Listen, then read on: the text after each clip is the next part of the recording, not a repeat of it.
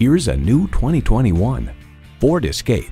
Get away every time you get into this Escape. Its amazing ability and maximum cargo configurability makes every trip the perfect journey.